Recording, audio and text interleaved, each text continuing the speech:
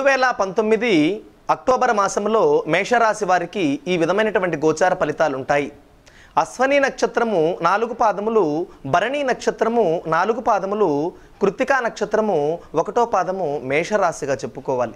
మేషరాశికి ఈ మాసములో మిశ్రమమైనటువంటి ఫలితాలు గోచరిస్తాయి. మానసిక ప్రశాంతత లేకపోవడము విపరీతమైనటువంటి ఖర్చులు కుటుంబములో వ్యతిరేకమైనటువంటి భావాలు భార్యాభర్తల మధ్య మాటామాట పట్టింపులు జరగడము అనుకున్నటువంటి కార్యక్రమాలు సకాలంలో పూర్తి చేయలేకపోవడము ఆందోళన టెన్షన్ భయము భీతి ఈ విధమైనటువంటి ఫలితాలు ఈ మాసంలో మేషరాశి వారు పొందేదానికి ఆస్కారం ఎక్కువ శాతం కనబడుతుంది. అయితే ఈ యొక్క పదిహేనో తారీఖు అక్టోబర్ పదిహేనో తారీఖు తర్వాత కొంత అనుకూలమైనటువంటి ఫలితాలు వస్తాయి. దూర ప్రాంతాలకు వెళ్ళేటువంటి వారు నిర్భయంగా వెళ్ళొచ్చు. ఆందోళన చెందవలసిన అవసరం లేదు. మాసం చివరిలో అనుకూలమైనటువంటి విజయాన్ని వీరు పొందేదానికి ఆస్కారం కనబడుతుంది. భయపడాల్సినటువంటి అవసరం లేదు.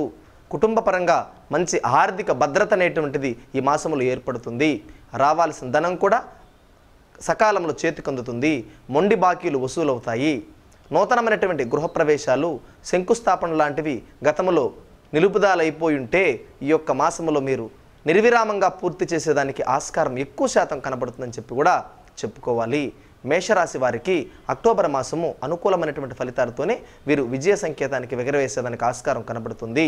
చివరి చివరిగా కూడా వీళ్ళు విజయాన్ని పొందుతారని చెప్పి కూడా చెప్పుకోవాలి. పరిహారాల విషయానికి వచ్చినప్పుడు సుబ్రహ్మణ్యం స్వామి వారి యొక్క ఆరాధన సుబ్రహ్మణ్యం స్వామి వారికి అర్చన సుబ్రహ్మణ్యం స్వామి వారికి పూజ లాంటివి ఈ యొక్క మాసంలో మీరు చేయడం ద్వారా తప్పకుండా మీకు మంచి సత్ఫలితాలతోనే మీరు విజయ సంకేతంతో ముందుకెళ్ళేదానికి ఆస్కారం కనబడుతుందన్న విషయాన్ని తెలియజేస్తూ శ్రేయోదాయకం. శుభం.